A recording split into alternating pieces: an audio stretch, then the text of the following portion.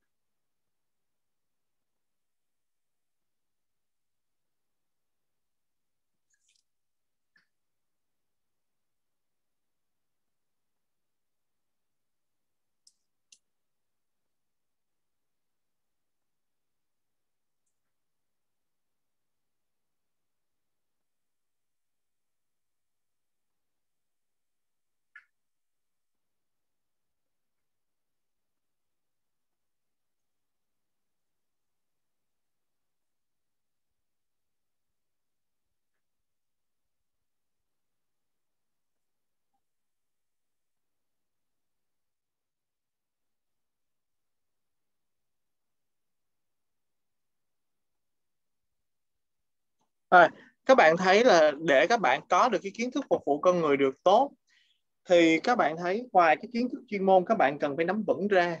Thì một trong những cái kiến thức mà các bạn cũng cần phải biết và tìm hiểu đó chính là về kiến thức khách, khách hàng. Kiến thức khách hàng thì các bạn cần tìm hiểu gì về à, kiến thức khách hàng? Các bạn cần hiểu về văn hóa phong tục tập quán cũng như là về cái đặc trưng của quốc gia. Những cái quốc gia có khách hàng đến ngoài ra thì các bạn cũng cần tìm hiểu thêm về cái kiến thức về xã hội. Về xã hội đây chính là những cái thông tin hiện tại à, tình hình hiện tại của xã hội và của thế giới.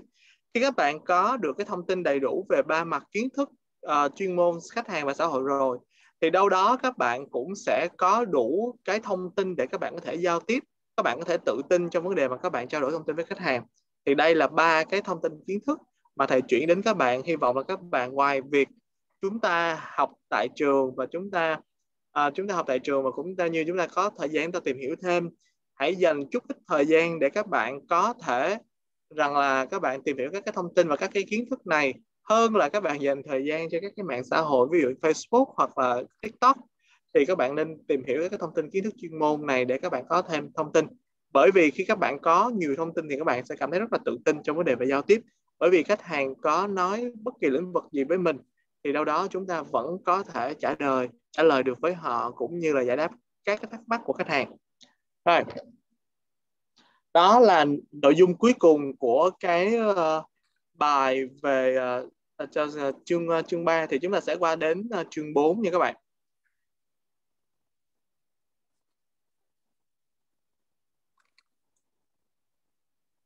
Rồi, chúng ta sẽ qua đến chương 4.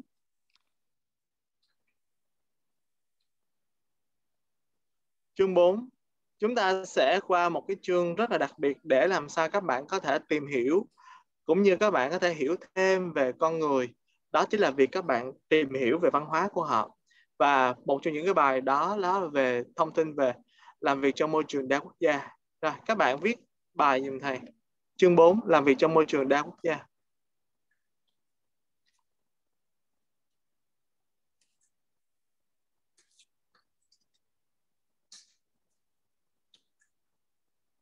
Chương 4 làm việc trong môi trường đa quốc gia.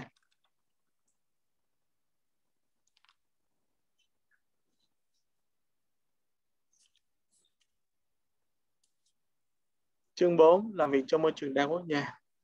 Rồi, chúng ta sẽ đi vào các cái nội dung chính trong đa quốc gia ngày hôm nay. À, các bạn thấy rằng là sau này khi các bạn làm việc trong những cái khách sạn hoặc trong các cái nhà hàng quốc tế thì một trong những cái yếu tố mà các bạn sẽ bắt gặp đó chính là đồng nghiệp của các bạn sẽ đến từ rất nhiều nơi trên thế giới. Có thể đến từ một vài nước châu Á có thể đến từ một vài nước châu Âu và thậm chí có thể đến từ một vài nước đến từ vài cái châu lục khác. À, tại sao lại có cái sự đa văn hóa trong cái ngành nghề dịch vụ khách hàng như vậy? Bởi vì các bạn biết là cái ngành nghề chúng ta cái đối tượng chính chúng ta phục vụ chính là khách hàng. Mà khách hàng của chúng ta đến từ rất nhiều quốc gia vì vậy chúng ta cũng cần đội ngũ nhân viên đến từ nhiều quốc gia khác nhau để có thể am hiểu và nắm rõ về văn hóa của quốc gia của các cái quốc gia mà khách hàng họ đến với chúng ta để mà chúng ta có thể hiểu hơn về văn hóa phong tục tập quán à, về tôn giáo và tín ngưỡng để chúng ta có thể phục vụ họ một cách tốt nhất. Đó chính là à, lý do tại sao mà các cái thương hiệu các khách sạn à, theo chuỗi à, khách sạn quốc tế trên thế giới hay có cái việc là luân chuyển nhân viên của mình đi các cái nơi khác trên thế giới trong hệ thống của mình để giúp cho nhân viên của mình học hỏi thêm nhiều kiến thức gặp gỡ thêm nhiều đối tượng khách hàng và hiểu thêm nhiều cái văn hóa và phong tục để mà có thể phục vụ khách hàng một cách tốt nhất đúng không? thì đó chính là cái uh, vấn đề về uh, tại sao là chúng ta cần có cái sự đa văn hóa trong vấn đề về làm việc cũng giống như các bạn thấy là trong lớp của chúng ta đi một cái yếu tố mà đơn giản nhất là các bạn thấy là trong lớp của chúng ta sẽ có rất nhiều bạn đến từ những rất nhiều vùng miền khác của Việt Nam. Mỗi bạn đến từ một vùng miền khác của Việt Nam đồng nghĩa là là các bạn cũng sẽ uh, có được một cái uh, văn hóa một cái tiếng nói cũng như là những cái phong tục hoàn toàn khác nhau. Vì vậy các bạn thấy đầu tiên để các bạn có thể hòa nhập được môi trường đa văn hóa thì thầy khuyên là chúng ta nên hòa nhập với cái môi trường uh, đa văn hóa đầu tiên nhất là ở trong lãnh thổ của chúng ta hay là một cái mô hình nhỏ là trong lớp của chúng ta. Thì để các bạn có thể hòa nhập được thì các bạn uh, cần phải rất nhiều yếu tố bao gồm là yếu tố học hỏi yếu tố lắng nghe yếu tố chia sẻ và một cái quan trọng nhất đó chính là yếu tố mà các bạn cầu thị trong vấn đề mà các bạn muốn uh, hiểu thêm về cái nền văn hóa của các bạn trong lớp mình. Rồi vậy chúng ta tìm hiểu một chút xíu về khái niệm uh, thế nào gọi là đa văn hóa? Rồi chúng ta đi về tầm quan trọng của việc hiểu văn hóa của du khách một một La Mã.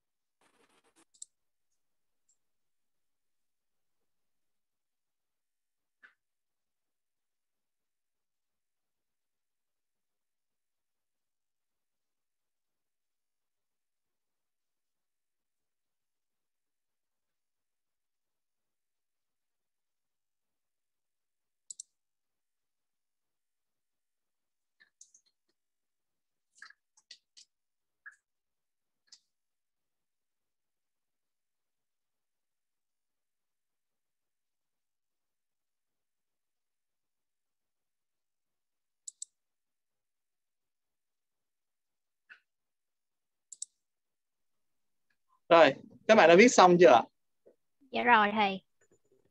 Rồi, cảm ơn các bạn. Các bạn thấy là à, môi trường đa văn hóa đó sẽ diễn ra và tiếp diễn à, nếu như cái ngành dịch vụ nhà hàng khách sạn chúng ta vẫn còn phát triển trong tương lai. uh, cái việc đa văn hóa nó giúp cho xã hội của chúng ta cũng như con người chúng ta ngày một hoàn thiện bản thân mình hơn trước đây đó các bạn nếu như nói về thuần người châu Á hay gọi là người Việt Nam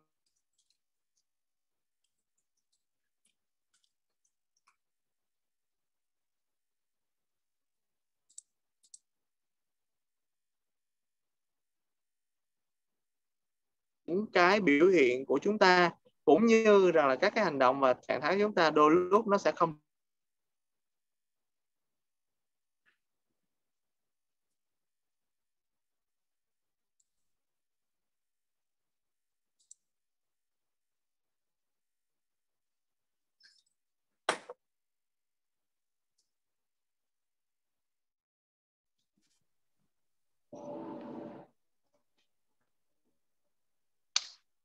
Ồ, oh, như nó bị văng ra phong đâu mà. Dạ đúng rồi, như thầy bị văng ra thầy, em không nghe thầy nói oh. gì hết.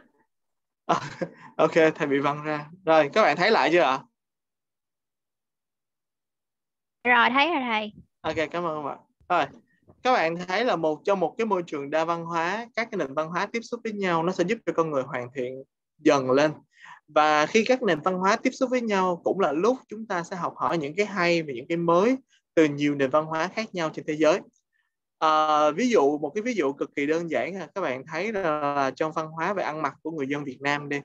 Trước đây theo như văn hóa truyền thống của người châu Á là người con gái châu Á khi ra đường là lúc nào cũng sẽ phải sao một cái nét gì đó e ấp một cái nét gì đó bí ẩn đúng không ạ? Hay nói đúng hơn là ăn mặc sẽ kính cổng cao tường.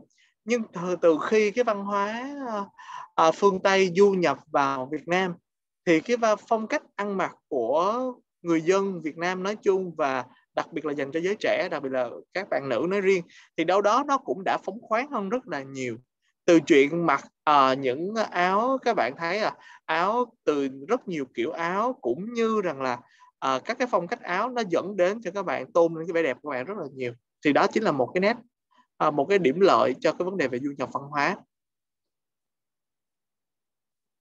Rồi vậy, du nhập văn hóa nó sẽ thể hiện ở những điểm nào? Ok, xin mời các bạn các bạn thích này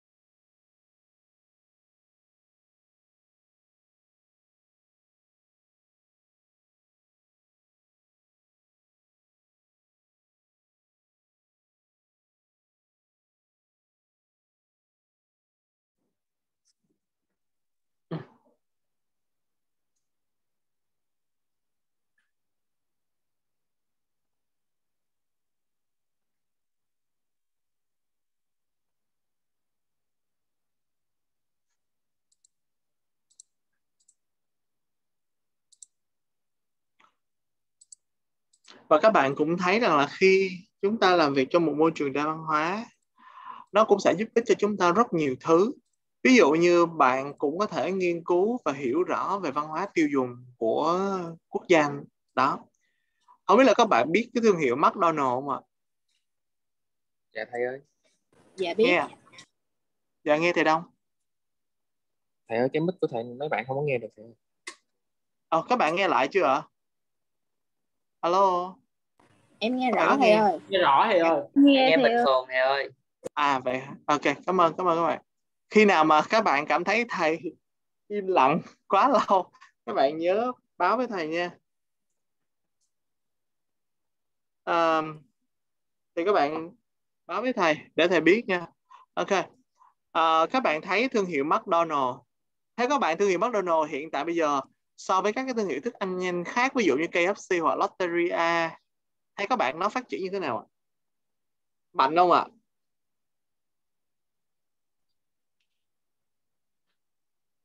Hầu như các bạn thấy là trong ít trong số các bạn á thầy không biết là sẽ có một vài bạn nói với thầy rằng là trời thầy ơi McDonald em chưa từng bao giờ đặt chân đến luôn. Ok. Chúng ta quay trở lại uh, lịch sử uh, McDonald đặt chân đến Việt Nam. Ờ, uh, McDonald đặt chân đến Việt Nam đâu đây đâu đó cách khoảng hơn 7 năm 6 7 năm gì đó thì nhớ chính xác lắm. McDonald mở một cái cửa hàng đầu tiên tại thị trường Việt Nam tại vòng xoay Điện Biên Phủ. Và đặc tính của McDonald là một trong những cửa hàng phục vụ thức ăn nhanh theo dạng là 24 giờ trên 24 có nghĩa là sau thời gian phục vụ chính ban ngày thì cửa hàng sẽ đóng lại và bạn vẫn có thể mua đồ ăn tại McDonald thông qua hình thức rằng là uh, uh, bán hàng 24 nhưng mà không phải trong nhà hàng. Ờ, ở bên uh, bên bên cánh phải của nhà hàng và bạn sẽ nhận hàng là bên cánh trái. Thì đó là một trong những cái nét đặc trưng của McDonald. Uh, sorry các bạn như có bạn nào có comment?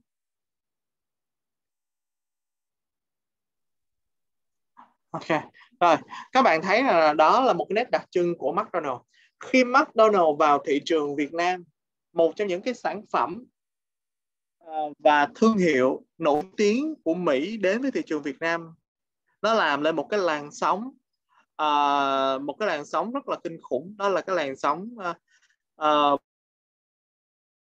với Việt Nam mà đó chính là một cái nét đặc trưng cho văn hóa Mỹ. Đó chính là burger. Rồi và McDonald mang đến thị trường Việt Nam một cái sản phẩm burger đó là một cái loại burger bò với burger và tôi nhớ vào thời kỳ đó họ quảng cáo là burger XXL à, là một loại burger cực kỳ lớn bán tại thị trường Mỹ luôn và họ cũng đưa vào thị trường Việt Nam bán luôn. Rồi và cái giá mà burger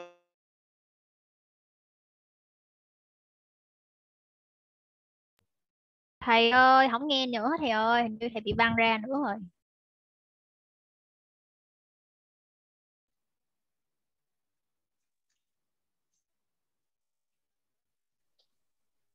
Nghe rõ lại chưa các bạn? Dạ giờ nghe rồi đó thầy ủa sao kỳ vậy ta? Nhiều khi do mạng á thầy thầy coi phải à, mạng. ok, Tại- ok. dạ. Ok. Rồi.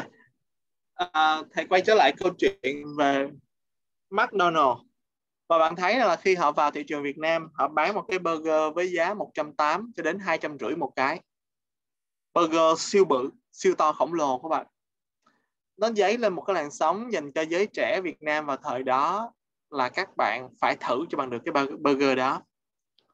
Giới trẻ đã bỏ thời gian vài tiếng đồng hồ để xếp hàng để được ăn cái burger đó vào ngày khai trương và sau những ngày khai trương tiếp theo. À, nhưng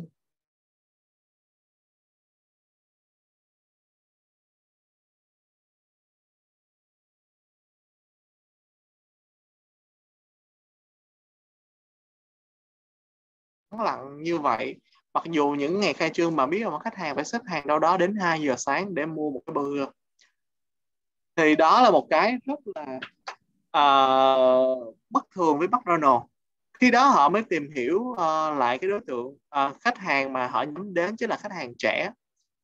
Tại sao người Việt Nam lại rần rần và hào hứng trong một khoảng thời gian ngắn đến như vậy và sau đó thì hầu hết tất cả các chuỗi cửa hàng của McDonald vắng tanh?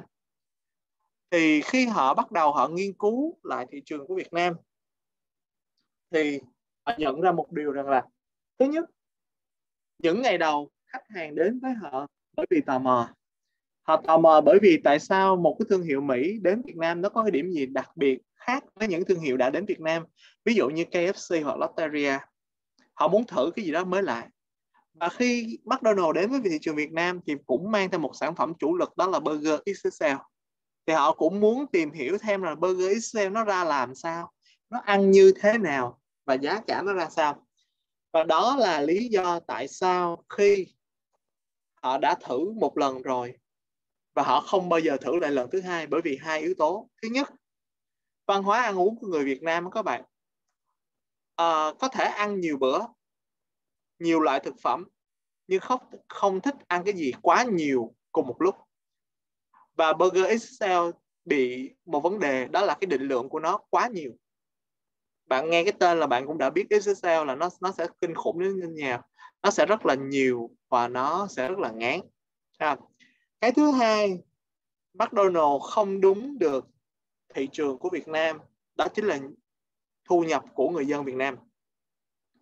Cái thu nhập của người dân Việt Nam vào thời điểm đó, để có thể ăn được một cái burger, có một vài bạn à, thầy nói vui là để ăn được một cái burger là cả tuần phải ăn mì gói. Vì vậy, McDonald đã quên đi cái việc nghiên cứu về thị trường và văn hóa ẩm thực của Việt Nam. Họ chỉ nghĩ rằng là à đây là một thương hiệu Mỹ và khi thương hiệu này đến với thị trường Việt Nam, sẽ được người Việt Nam chào đón bởi vì người Việt Nam là một trong số ít những quốc gia rất thích những cái gì đến từ nước ngoài và kết quả cuối cùng thời điểm hiện tại bây giờ thì McDonald đã Hello, và thầy đang ơi, dần không nghe được. đóng cửa. Ô về hả? Tại sao vậy ta? Ok. nghe bình thường Bên mà thầy tín hiệu tín hiệu tín hiệu mạng của thầy vẫn bình thường mà ta sao kỳ vậy ta? đang Dạ, nghe bình thường. Thầy không? thầy vẫn đang kiểm nghe bình thường à gì hả? Dạ, đang nghe Ok, bình thường ok, đó thầy. sorry các bạn. À ok ok. Thì các bạn thấy là McDonald đã bị một vấn đề đó là quên nghiên cứu thị trường trước khi họ xâm nhập vào kinh doanh dẫn đến họ ra những cái sản phẩm cũng như cái giá thành nó không phù hợp với người dân Việt Nam. Bạn thấy là người dân Việt Nam mỗi một buổi sáng à, ăn sáng họ có thể bỏ ra hẳn 15 cho đến 20 ngàn để mua một bánh mì. Nhưng nếu nói người Việt Nam để bỏ ra 180 cho đến 250 ngàn để mua một cái burger buổi sáng thì đôi lúc sẽ không có ai làm điều đó. Đúng không ạ? Và tới thời điểm bây giờ thì McDonald đã và đang bắt đầu điều chỉnh giá và sản phẩm phù hợp hơn cho thị trường Việt Nam. Giá một cái burger của McDonald bây giờ đâu đó chỉ dao động khoảng 45 cho đến 65 ngàn một cái. Cái dung tích và cái um, khối lượng của burger nó cũng đã vừa phải hơn cái khẩu phần và cái định lượng của người dân Việt Nam hơn rất nhiều.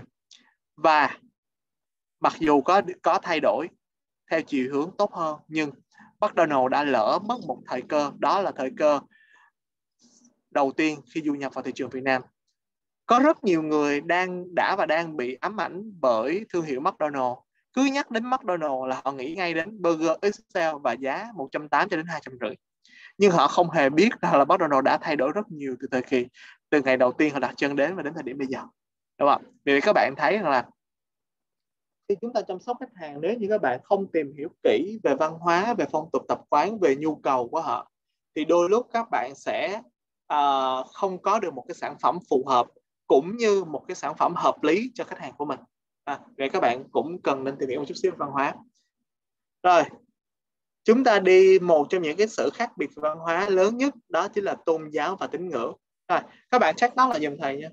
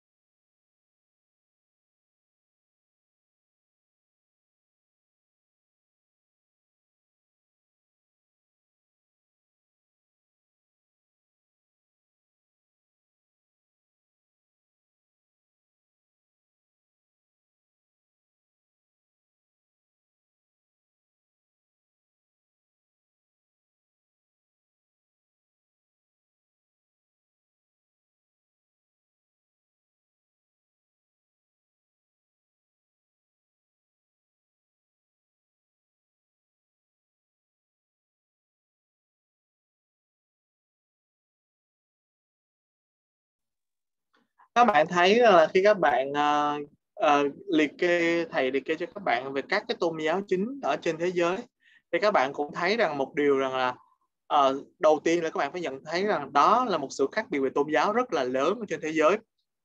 Tôn giáo của thế giới hiện tại bây giờ đang phân bổ rất là khác biệt với nhau đồng nghĩa rằng là không cần phải nói sâu xa về văn hóa nữa. nội tôn giáo là chúng ta đã khác biệt nhau rất là nhiều rồi.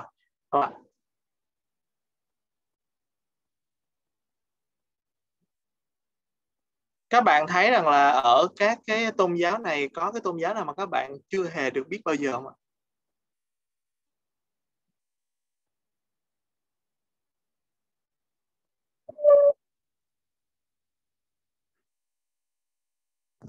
Jaina giáo thầy. À, Jaina giáo, Jaina giáo là một cái nhánh của Ấn Độ giáo nha các bạn. Nó xuất phát từ nguồn gốc từ Ấn Độ luôn các bạn. Nó là một cái nhánh của ờ, Ấn Độ giáo là do Ấn Độ giáo quá lớn, quá rộng lớn rồi. Nên nó mới phát sinh ra nó nó mới có những cái nhánh đạo tiếp theo tách biệt ra. Nhưng mà China giáo cũng là một trong những đạo giáo rất là nổi tiếng và phổ biến nhưng mà nó không phổ biến ở nhiều các quốc gia khác nhưng nó chủ yếu phổ biến ở Ấn Độ. Bởi vì Ấn Độ là một trong những quốc gia có cái dân số cũng thuộc hàng là đông nhất nhì thế giới. Vì vậy uh, do những cái tín đồ theo China giáo nhiều Ấn Độ nên vì vậy bạn thấy là trong cái bảng thống kê này thì có liệt kê các cái tôn giáo chiếm số đông ở trên thế giới.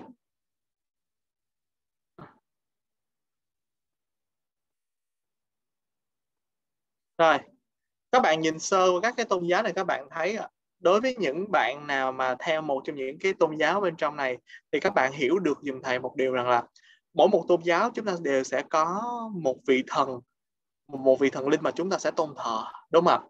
Ngoài ra mỗi một tôn giáo chúng ta đều sẽ có những cái văn hóa trong vấn đề về sinh hoạt tôn giáo đó. Những cái ngày lễ đặc biệt và trọng đại trong cái tôn giáo của mình. Dẫn đến là các bạn thấy là mỗi một tôn giáo, những cái ngày lễ và những ngày trọng đại đôi lúc nó sẽ không hề trùng nhau. Và thậm chí cái văn hóa sinh hoạt cũng khác biệt nhau rất là nhiều. Nó dẫn đến sự khác biệt về tôn giáo, nó dẫn đến rất rất nhiều thứ khác biệt về trong văn hóa và cách hành xử của rất rất nhiều người theo những cái tôn giáo khác nhau. Các bạn đã viết xong cái bản này chưa ạ? Bạn đã viết xong nội dung này chưa? Dạ rồi. Dạ rồi. Thầy ok cảm ơn các bạn. Rồi chúng ta đến với uh, những cái thông tin mà các bạn có thể check nó lại dùm thầy.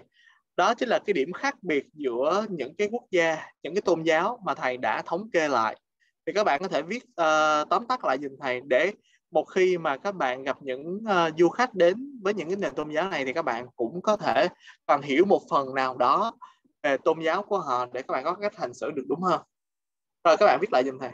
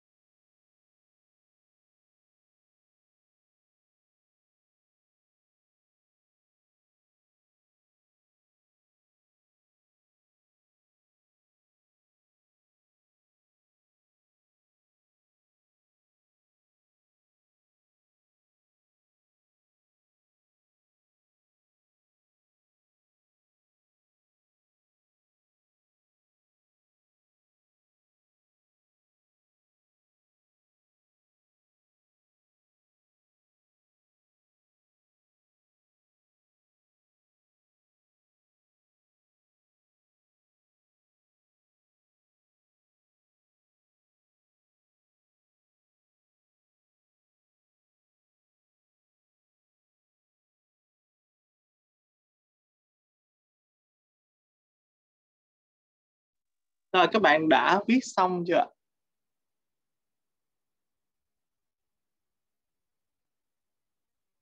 Ừ, ừ.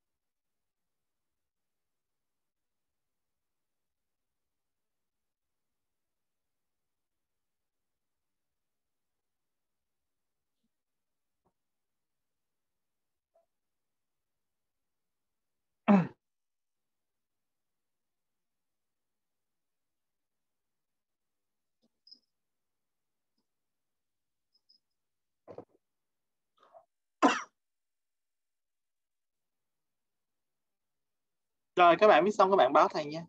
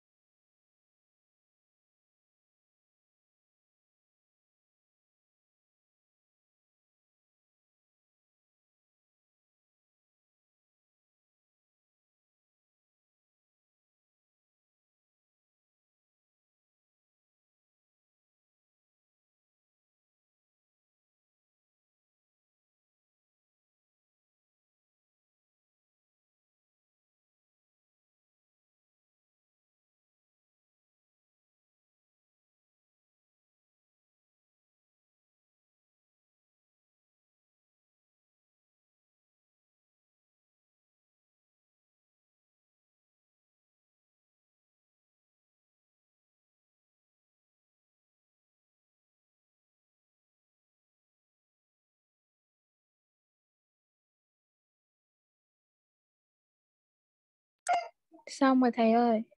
Cảm ơn các bạn. Rồi, à, chúng ta điểm qua một vài cái tôn giáo chính mà các bạn có thể thấy à, chiếm đại đa số trên thế giới, ví dụ như Kitô giáo hay là Phật giáo. Ở Việt Nam mình thì các bạn các bạn thấy những cái đạo giáo ví dụ như Kitô hay là đạo Thiên Chúa giáo và Phật giáo là những cái đạo giáo uh, phát triển mạnh mẽ ở Việt Nam. Ngoài ra thì ở Việt Nam mình cũng tồn tại rất rất nhiều đạo giáo khác nha các bạn không phải là chỉ có đạo Thiên Chúa và đạo Phật mà không. Ngoài ra thì ở Việt Nam mình có rất rất nhiều tôn giáo khác. Mà một cái mà thầy nói thầy nói vui vui với mấy bạn thôi, là nếu như không có những cái vụ án là những cái những cái sự cố xảy ra, thì chắc làm gì các bạn biết được những cái tôn giáo, ví dụ như là pháp luân công hoặc là đức thánh chúa trời, đúng không ạ rồi các bạn thấy là đây là một trong những cái mà các bạn thấy rằng là những cái tôn giáo chính mà chúng ta biết các bạn đôi lúc đó chỉ là những cái lớn thôi. Còn ngoài ra chúng ta còn có rất rất nhiều tôn giáo nhỏ song song hoạt động và phát triển trong xã hội của chúng ta mà chúng ta hầu như chúng ta không hề nắm nắm nắm được hết. À, vì vậy nội mà để các bạn có thể hiểu được hết các cái tôn giáo trong lãnh thổ Việt Nam không cũng là cả một vấn đề rồi. Huống chi là các bạn có thể hiểu được thêm những cái tôn giáo của các quốc gia khác. Vì vậy chúng ta chỉ à, tìm hiểu và chúng ta chỉ à, quan tâm đến những cái tôn giáo mang yếu tố với cái người tham dự với cái lượng đa số lớn mà thôi đúng không rồi chúng ta có về Kitô giáo lần ờ, về Thiên Chúa giáo thì các bạn thấy đây là một trong những cái đạo giáo cũng khá là lớn không chỉ ở Việt Nam. À, không chỉ lớn ở Việt Nam mà lớn ở rất nhiều nơi trên thế giới và các bạn thấy rằng là đối với Kitô giáo thì đây là một đạo giáo mà với thầy thì theo yếu tố rằng là uh, ôn hòa và hiền hiền lành các bạn nhiều hầu hết tất cả những người theo Kitô giáo thì họ rất là ôn hòa. À, ngoài ra thì các bạn thấy là một những cái đạo giáo mà gây nhiều cái tiếng tâm không có tốt nhiều nhất đó chính là quốc gia về hồi giáo. Nhưng mà các bạn thấy là đối với hồi giáo thì uh, đôi lúc uh, nó chỉ nằm ở một yếu tố những cái phần tử cực đoan thôi các bạn những cái phần tử mà người ta nói là những cái phần tử có cái tư tưởng lệch lạc cũng như là những cái suy nghĩ trái với cái đạo gốc mà thôi. Đúng không? nhưng mà đôi lúc uh, những cái phần tử nhỏ nho như vậy lại gây nên một cái tiếng tâm không hề tốt cũng như là không hề đẹp đẽ dành cho những người theo đạo hồi. Um, ở đây một trong những cái đạo giáo mà thầy cũng muốn giới thiệu các bạn đó chính là nho giáo. Nho giáo thì được hình thành phát triển nhiều uh, đầu tiên ở Trung Quốc các bạn nếu như các bạn có hay coi những cái bộ phim uh, cổ trang thì các bạn thấy rằng là ờ, ở nho giáo ngày xưa ờ, ở đất nước Trung Quốc thì người ta hay dạy cho trẻ em về tam thư ngũ kinh đó các bạn đúng không ạ? Và thờ là thờ đức khổng tử. Với họ khổng tử chính là cái người mà khai sinh ra đạo giáo cũng như là những cái uh, thơ văn uh, về uh, cái đạo này đúng không ạ? Rồi chúng ta sẽ qua tiếp một cái nhóm đạo giáo tiếp theo. Ở đây thầy chỉ liệt kê những cái đạo giáo chính thôi nha các bạn. Chúng ta qua hai nhỏ thái độ với gia đình.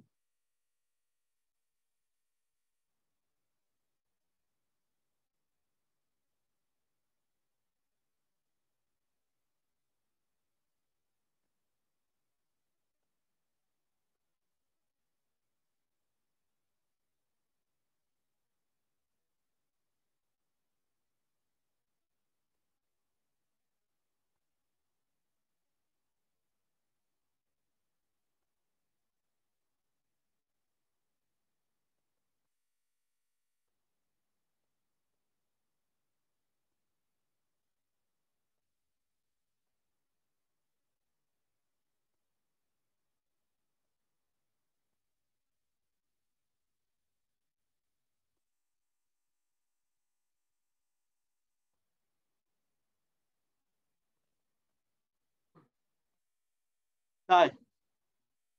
Các bạn thấy là việc tôn giáo nó cũng sẽ ảnh hưởng rất nhiều với thái độ của gia đình. Ví dụ như các bạn thấy rằng là các bạn gạch đầu hàng nhìn thầy đầu tiên nha. Vấn đề về tôn giáo nó sẽ ảnh hưởng đến uh, thái độ gia đình như thế nào?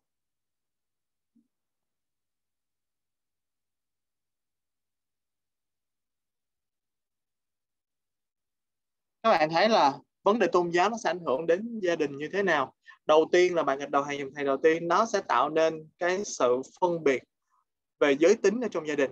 Nếu bạn nhìn cái bức hình uh, của gia đình do thái ở góc tay trái của màn hình các bạn các bạn thấy không? Đây là một gia đình uh, hai vợ chồng và bốn đứa con ba trai và một gái. Và thấy mà người đàn ông không bao giờ nắm tay bé gái và người đàn ông luôn luôn đi trước người phụ nữ và bé gái trong gia đình đâu đó một đến hai bước chân. Thì các bạn thấy nó tạo nên cái sự phân biệt về giới tính ở trong gia đình rất rõ ràng người phụ nữ ở một vài tôn giáo bạn họ chỉ đảm nhận hai vai trò. Thứ nhất đó là nội trợ và thứ hai đó là duy trì phát triển cái dân số của xã hội mà thôi. Đúng không ạ?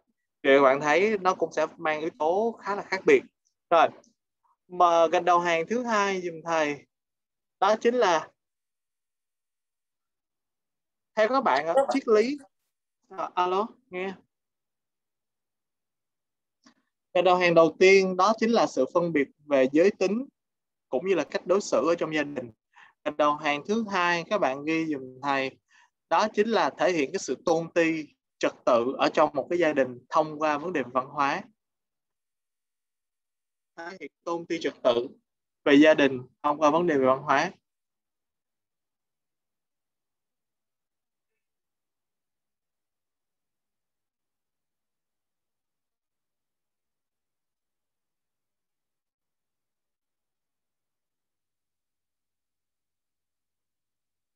Rồi, gần đầu hàng thứ ba, các bạn thấy rằng là uh, từ những cái văn hóa như vậy nó hình thành được cái gần đầu hàng thứ ba hình thành nhận thức phải thái độ và cách sống của mỗi người trong gia đình.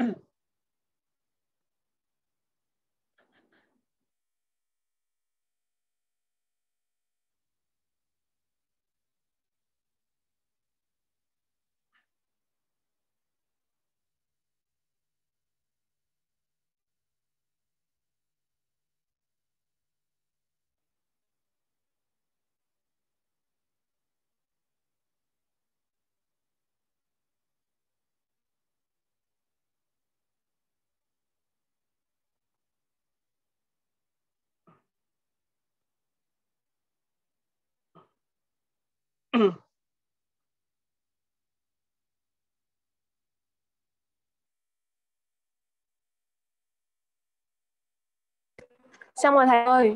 Ok, cảm ơn các bạn. Rồi chúng ta tiếp tục qua nội dung tiếp theo. Một sự khác biệt văn hóa nó cũng sẽ ảnh hưởng đến các cái món ăn và đồ uống. Bài nhỏ các món ăn và đồ uống. câu hàng đầu tiên dùm thầy. Việc cấm sử dụng và buôn bán các loại chất có cồn ở các quốc gia Hồi giáo dành cho tất cả người dân. Việc cấm sử dụng các loại chất có cồn trong việc sử dụng và buôn bán của các quốc gia Hồi giáo đến người dân.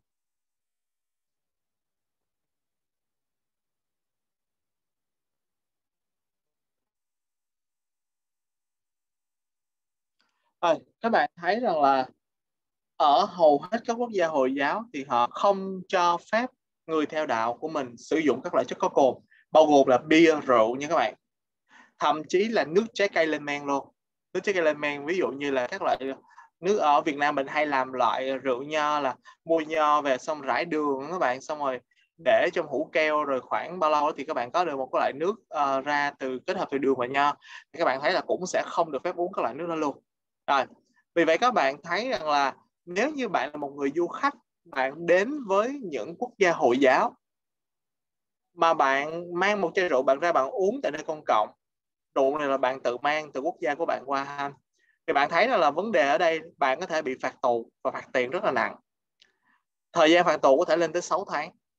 À, vì các bạn thấy rằng là à, nếu như bạn không hiểu rõ về văn hóa nó ảnh hưởng nhiều như thế nào về gia đình cũng như là đồ ăn và thức uống của quốc gia đó thì các bạn nên lưu ý lại. Rồi cái đầu hàng thứ hai dùm thầy. Ảnh hưởng tôn giáo nó cũng sẽ thể hiện qua việc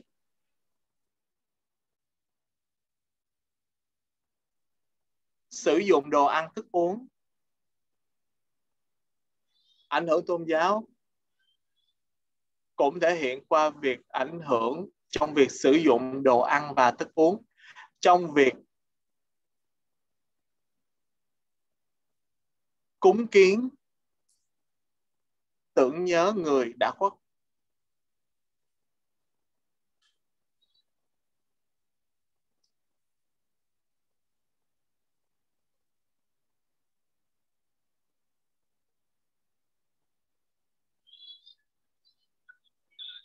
Anh thấy rằng là đối với ờ, rất nhiều về tôn giáo thì cái việc mà sử dụng đồ ăn và thức uống bạn, đồ ăn thức uống thật nha các bạn, cho việc cúng kiến và sử dụng thì đôi đó thì không nhiều tôn giáo sử dụng mà đặc biệt sử dụng nhiều nhất chính là tôn giáo Phật giáo. Rồi, việc ảnh hưởng tôn giáo, việc ảnh hưởng tôn giáo nó còn ảnh hưởng đến văn hóa văn hóa ăn uống nha các bạn. Rồi, đầu hàng thứ ba, văn hóa ăn, văn hóa ăn uống và sử dụng văn hóa ăn uống và sử dụng. Văn hóa ăn uống và sử dụng. Văn hóa ăn uống và sử dụng. Dụng cụ trong việc ăn uống.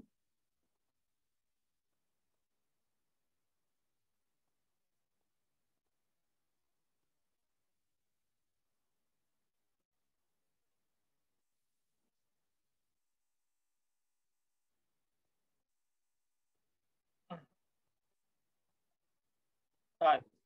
Ví dụ như là đối với uh, các người dân Ấn Độ thì họ khi họ dùng đồ ăn các bạn thì họ thường sử dụng bằng tay phải.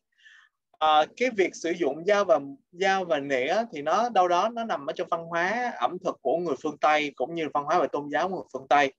À, còn đối với người châu Á mình đó, thì các bạn thấy rằng là các đồ ăn và thức uống khi chúng ta dùng chúng ta hay dùng kèm với là một cái loại dụng cụ rất là phổ biến và đặc trưng đó chính là đũa. Và thì các bạn thấy là tôn giáo nó sẽ ảnh hưởng đến về thái độ sống và văn hóa và gia đình và cũng như nó cũng sẽ ảnh hưởng đến về các cái món ăn và đồ uống. Gạch đầu hàng thứ tư dùm thầy. Việc việc gạch đầu hàng thứ tư. Việc không sử dụng các loại thực phẩm nhất định trong việc chế biến món ăn. Việc không sử dụng một loại thực phẩm nhất định trong việc chế biến món ăn cũng là một nét đặc trưng ảnh hưởng của tôn giáo.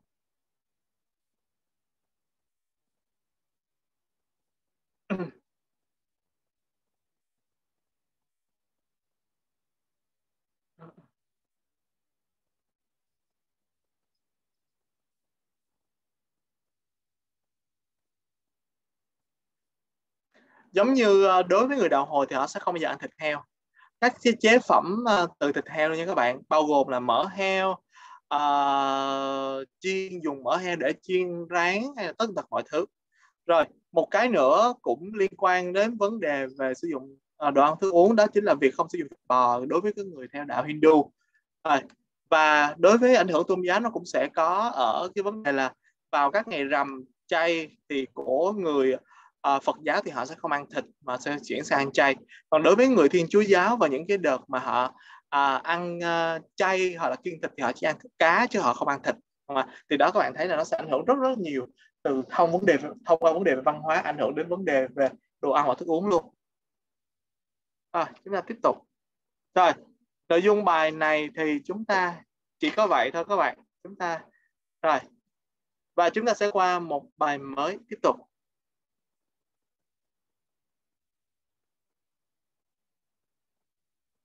Bài này thì là khá là ngắn thôi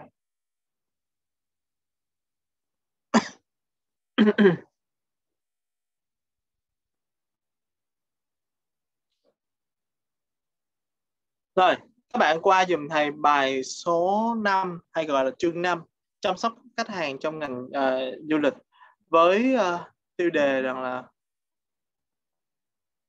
chương 5 dịch vụ và sự thỏa mãn khách hàng.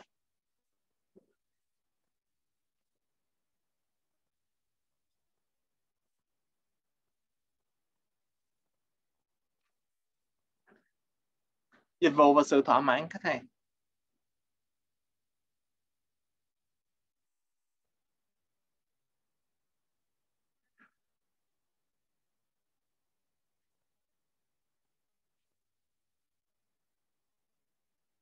Rồi, chúng ta bắt đầu vào nội dung của bài học này. Đầu tiên thì các bạn thấy rằng là chúng ta sẽ có tổng cộng là 6 cấp độ thể hiện cho 6 cấp độ thể hiện cái sự hài lòng của khách hàng.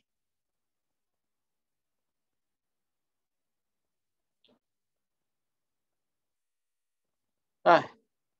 Các bạn ờ, liệt kê dùm thầy 6 cấp độ này ra nha. Sau đó thầy sẽ cho các bạn giải thích cụ thể về 6 cấp độ này. Các bạn chỉ cần gạch đầu hàng dùm thầy cấp 1 là gì, cấp 2 là gì, cấp 3 là gì, cấp 4 là gì được không? Không cần phải kể lại cái bảng này. Một nhỏ 6 cấp độ hài lòng khách hàng. Tập đúng không?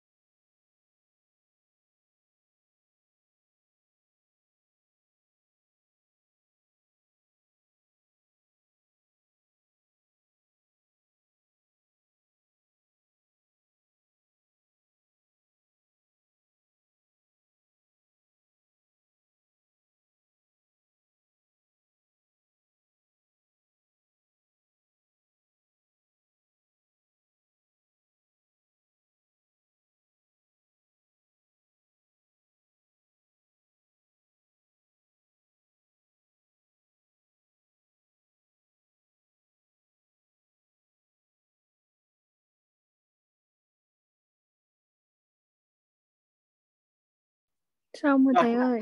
Ok, cảm ơn các bạn. Rồi, à, đầu tiên thầy sẽ nói ờ, về cái việc sử dụng 6 ờ, cấp độ này trước, sau đó chúng ta sẽ đi định nghĩa từng cấp độ một ha.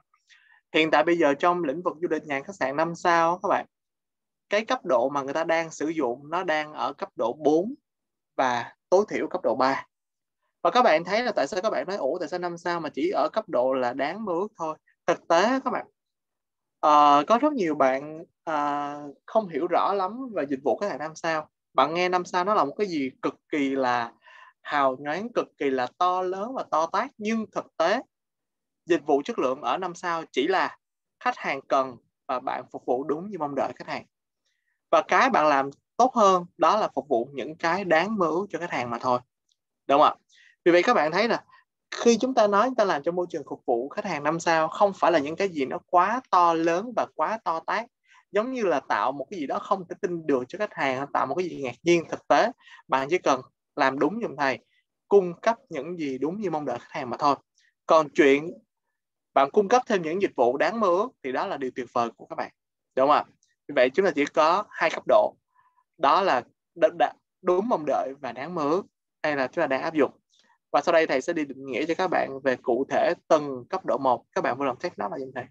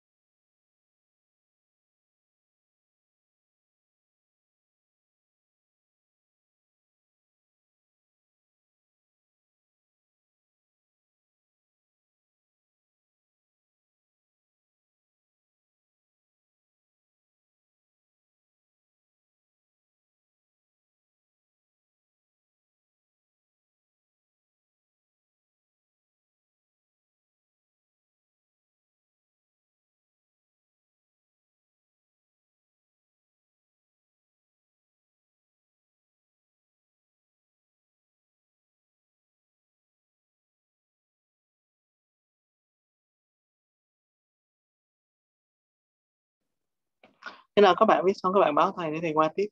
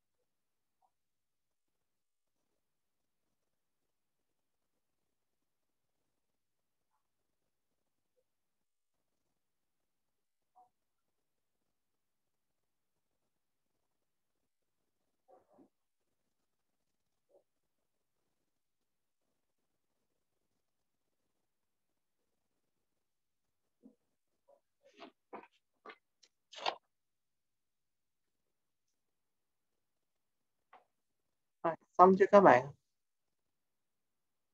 Dạ chưa thầy ơi. Ok ok.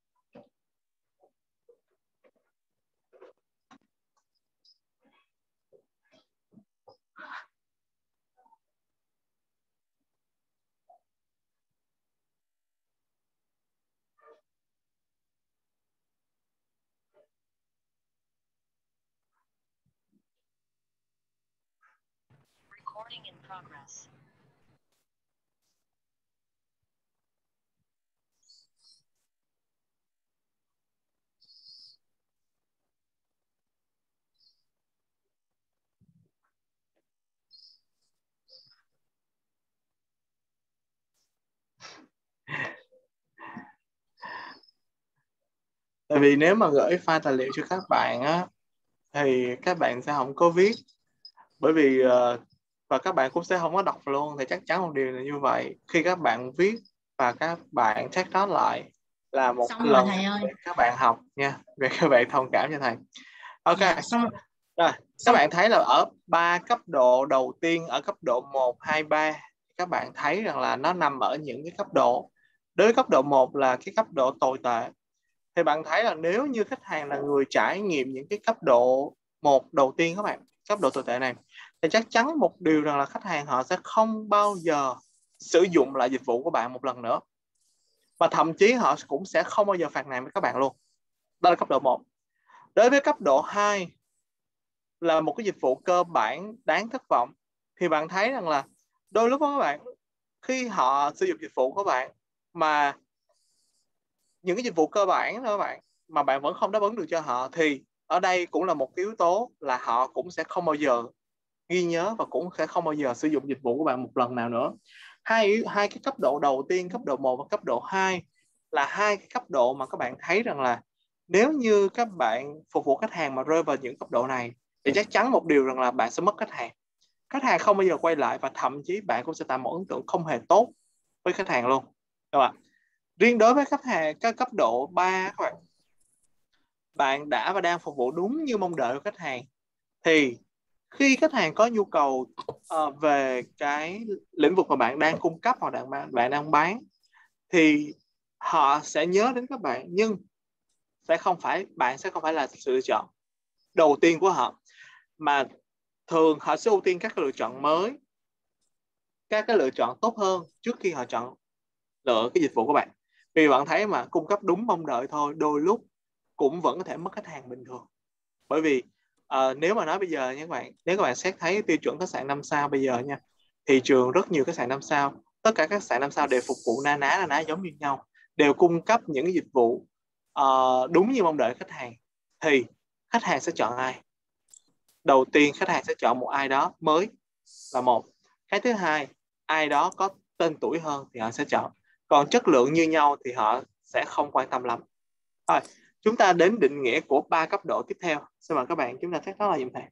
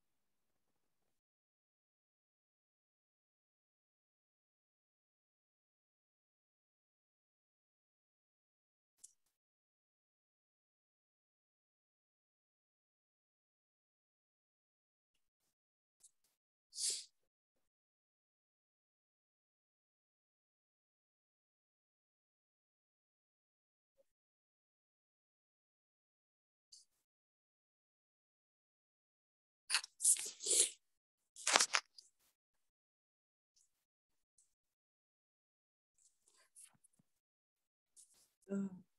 bố đi ngủ. Đi. Ngủ đi.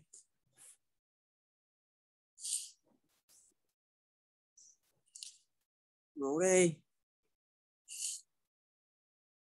này, này, này. ngủ chưa? Ngủ tiếp đi.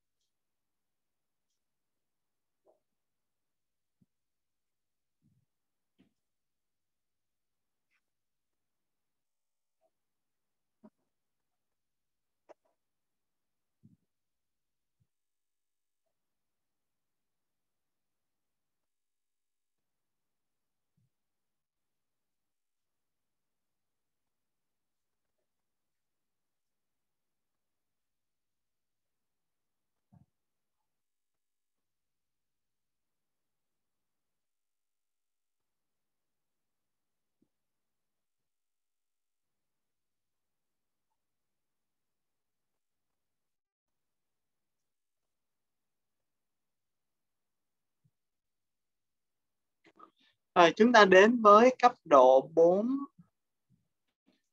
cấp độ đáng mơ ước.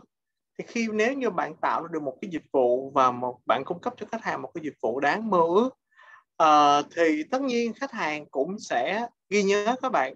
Ngoài khách hàng ghi nhớ các bạn ra thì bạn cho họ một cái dịch vụ quá tuyệt vời như vậy. Nên họ sẽ tạo dựng cái mối quan hệ với các bạn. Từ nhân viên với khách hàng cũng có thể từ nhân viên thành bạn bè. Và họ luôn luôn uh, thích cái cách mà bạn phục vụ một cái nét gì đó đặc trưng riêng đúng không ạ? Đáng mơ ước còn nếu như bạn phục vụ được ở cấp độ cao cấp hơn đáng mơ ước đó là một sự đáng ngạc nhiên trong quá trình phục vụ của các bạn. Thì điều làm cho bạn hoặc là đơn vị của các bạn sẽ giúp cho khách hàng yêu thích và quay trở lại và sử dụng rất rất nhiều lần khi họ có nhu cầu. Và cuối cùng đó là cái đẳng cấp cao nhất đó là dịch vụ không thể nào tin được hay gọi là một sự đáng kinh ngạc đó các bạn. Thì dịch vụ này ngoài cái việc mà khách hàng sẽ quay trở lại sử dụng dịch vụ của bạn một lần nữa, nếu như họ có điều kiện thì cái việc khách hàng trở thành một cái đại sứ truyền thông cho các bạn trong vấn đề về quảng bá là một điều rất hết sức bình thường. Các bạn vậy các bạn thấy mà vì vậy tùy theo mỗi một cái cấp độ mà các bạn phục vụ, để các bạn sẽ đạt được một cái giá trị nhất định.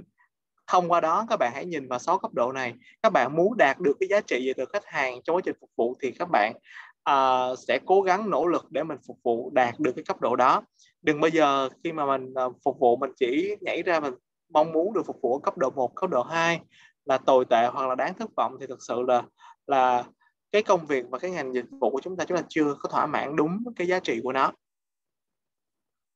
rồi các bạn đã viết xong chưa Dạ rồi. Dạ rồi. Ok, cảm ơn các bạn. Rồi, trước khi các bạn qua phần tiếp theo thì thầy có một cái bài tập thầy sẽ gửi trong group chat của các bạn.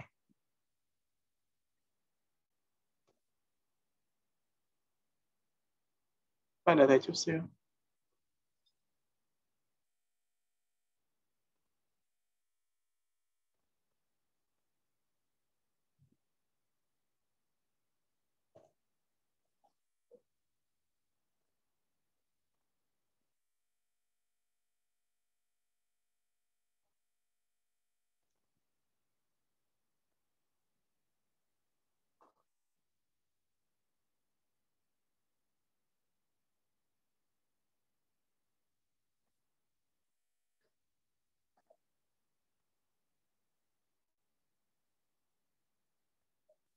Rồi.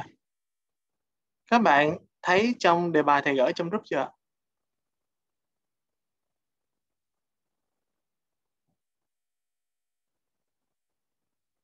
Các bạn thấy hết trong uh, uh, nội dung về chat chưa?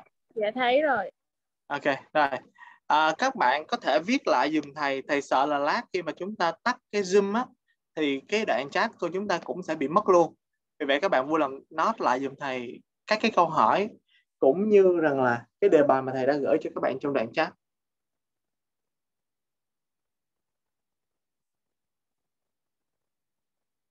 Rồi, khi nào các bạn nói xong, các bạn báo thầy nha.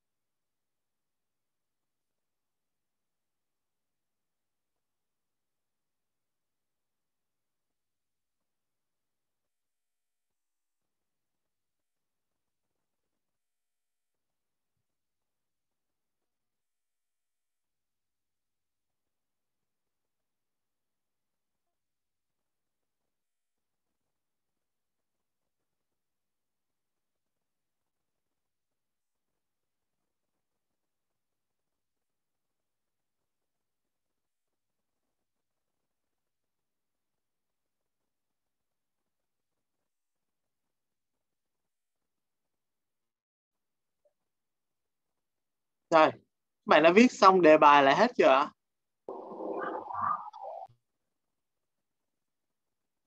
các bạn đã viết xong đề bài hết chưa? Dạ rồi thầy. ok rồi. Bây giờ các bạn sẽ có thời gian 20 phút để các bạn sẽ trao đổi nhóm với nhau. Cũng như đầu tiên các bạn phải xem cái clip này đã. Mỗi một bạn thầy muốn các bạn hãy xem cái clip này trước khi các bạn bắt đầu trao đổi nhóm với nhau để trả lời ba câu hỏi này. Đúng không ạ mỗi một bạn nên xem lại cái clip này, sau đó các bạn sẽ thảo luận với nhau để trao đổi. Rồi, được chưa ạ?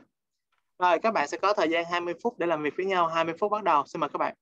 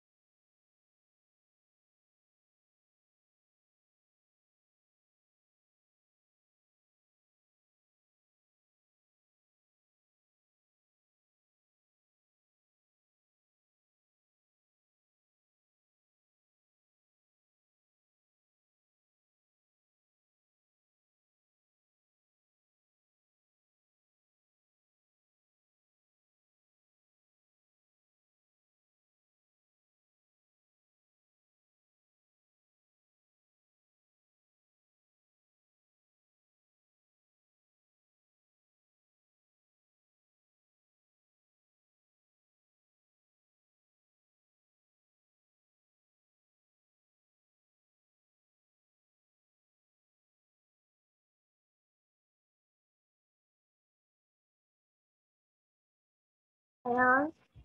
Thầy ơi.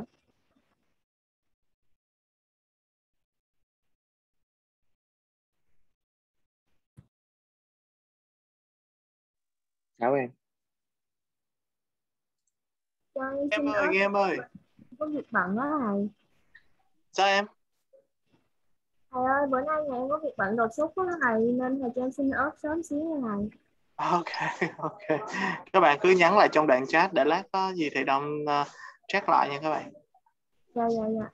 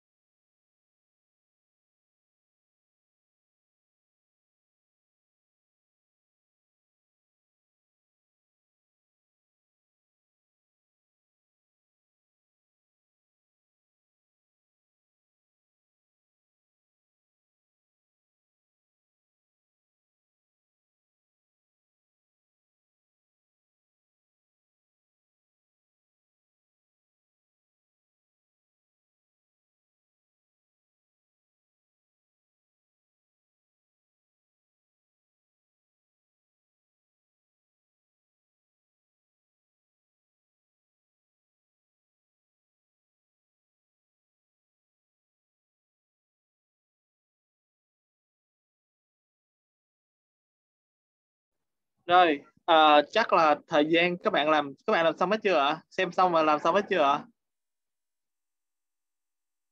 Dạ chưa thầy. à, vậy hả? Ok.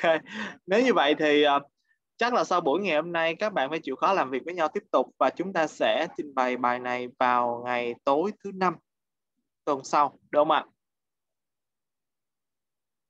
Rồi nếu như vậy thì chắc thầy sẽ kết thúc buổi học ngày hôm nay để các bạn dành thêm thời gian để các bạn có thể uh, trao đổi thêm với nhau cũng như là nghiên cứu ba cái câu hỏi mà thầy đã đưa ra. Rồi không biết là ai có câu hỏi nào về cho bài tập ngày hôm nay nữa không ạ?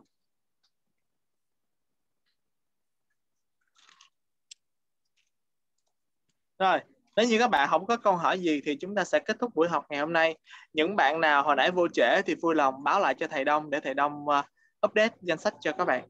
Các bạn Đông ơi thầy Đông ơi. Dạ. À, thầy Đông update giùm Phương mấy bạn vô trễ ngày hôm nay với thầy Đông ơi. Dạ dạ. Dạ cảm ơn thầy ạ. Rồi, cảm ơn thầy Đông rất nhiều. Cảm ơn các bạn. Hẹn gặp các bạn thứ tối thứ năm tuần này. Tuần sau lộn sorry. Tối thứ năm tuần sau. Rồi cảm ơn các dạ, bạn. chào thầy. À, chào các bạn. Ơn thầy chào thầy.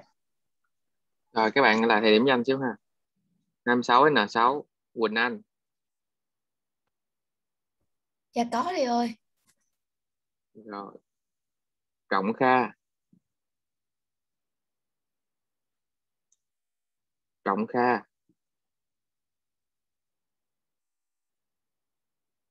Trọng Kha vắng ha.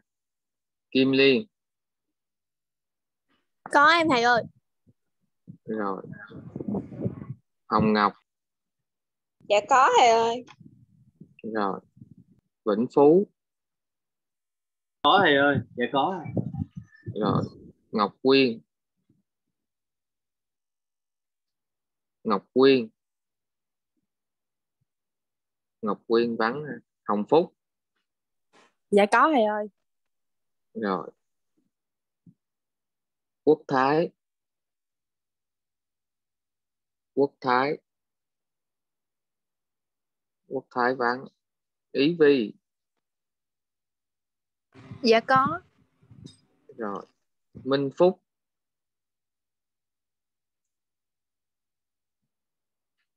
Minh Phúc. Minh Phúc vắng. Rồi Trọng Kha thầy thấy rồi. 26 n 7 Yến Nhi. Dạ có. rồi